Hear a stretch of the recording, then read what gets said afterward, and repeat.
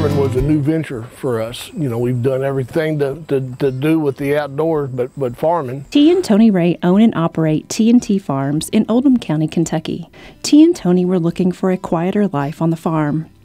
Although the farm was originally purchased by Tee's grandparents as an investment, it had not been managed in a sustainable manner. So when we picked our sign, we, we put our farm name, and underneath of it, we put conservation in progress. Just knowing all along the farm had been neglected for years, and it just needed a lot of a lot of cleaning up and getting it straight straightened out. Having a lot to learn about farming, the Rays reached out to their local cooperative extension office, conservation district, and natural resources conservation service.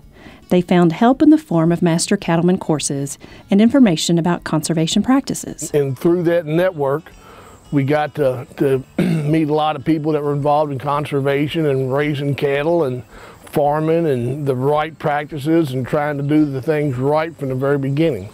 We got involved with uh, people like Kurt Mason with NRCS and Kurt came out to the farm and, and gave us some ideas on what we could do and that's just how the, the process started on this thing.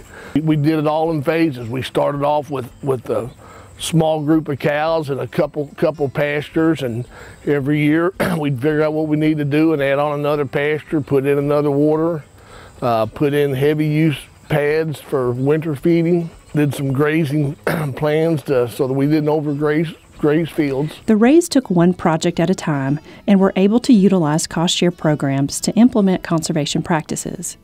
They developed a Kentucky Agriculture Water Quality Plan for the farm, which included practices such as heavy use area protection, rotational grazing, fencing streams, and alternative waterers. We're on the Floyd's Fork watershed, and uh, and it we're at the headwaters of it, and it's absolutely beautiful uh, along through there. Anything we can do to prevent uh, runoff, basically, whether whether it's topsoil or fertilizer or, or, chemicals or anything, you know, we make every effort not for that to happen. We try to use what nature gives us, and that's a lot of manure. And uh, and so by the cows, you know, putting their manure back down, and then our winter feeding pad, we, we save our manure and then spread it on our fields for fertilizer. Tee and Tony's 130 acre farm is situated in the headwaters of the Floyd's Fork watershed. By practicing sound nutrient management and utilizing manure effectively, they ensure protection of water quality in the Floyd's Fork.